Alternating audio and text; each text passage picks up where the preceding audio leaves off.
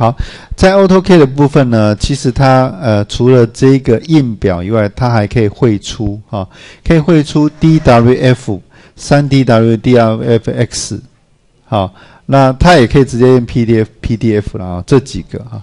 那 DWF 是什么啊？它是 CAD 之间哦，CAD 是泛指，不是 AutoCAD 哦，CAD 之间泛指。像比如说其他的 K 啦，比如 Archi K 啦，什么 Caris K 啦，哈，Quick K 啦，什么很多其他的 K 的一种交换档格式 DWF 啊。那 DWXFFX 呢，是指它用 XML 方式去做的啊。那 D DWF 是什么呢？Exchange File Format 啊，这个 DWF 它没有太多的功能，就只有这样而已，就只有这样啊。比如说桌面，我们来看桌面。好，这个 DW 储存，它有选项了啊，不过这个选项没有太多东西。我们储存，好，它就这样就储存了啊。我们到桌面上看啊，你到桌面上看，它就多一个这样，哎，对不起，在这里还没有，还没出来。好，在这里，这个出来一个 DWF，好，这个是它写 Web Format 了啊。这个是做交换档格式，也就是你可以跟其他的 K 的图档，像呃这个 ArchiK 啦，其他图档去做交换啊。那交换的意思说，它有一些标准的东西，它所以它可以把那个图放进来啊。那不过呢，在交换完了之后，其实它就只是它就不会再回来了，除非其他图档把。弄成 DWF，在你可以读取 DWF 进来哈，这是没有没有太多的功能，它就是只是一个 DWF 的交换档格式。啊，X 呢是一种 XML 网页的方式去储存的哈。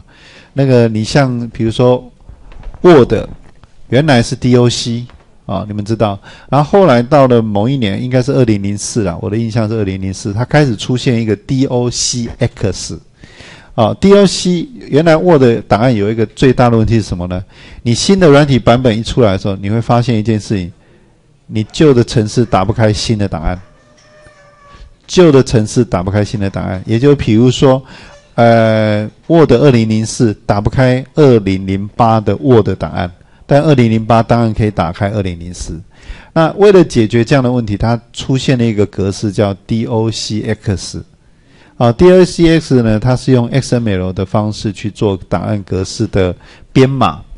那这样的好处是，以后呢，你就不用再呃重新去建立很多新的档案格式，然后要适应很难。好，所以从 DOCX 出来之后，基本上 Word 应该再不会有版本前后。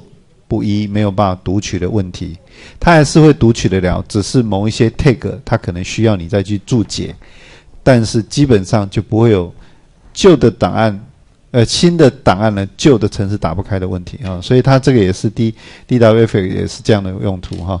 那三 D D DWF 就是有三 D 的图形的时候你可以输出去的啊，PDF 呢是跟刚才那个一样啊，其他就比较少用，我就不说明了。好，那这是 DWF 的问呃那个方式啊，我想请你稍微试一下就好，因为这个其实在你们来讲，大概百分之九十九都不会用到，除非你要跟其他的 CAD 去交换，人家可能会跟你讲我要 DWF 的格式，请你会给我，就在这个地方。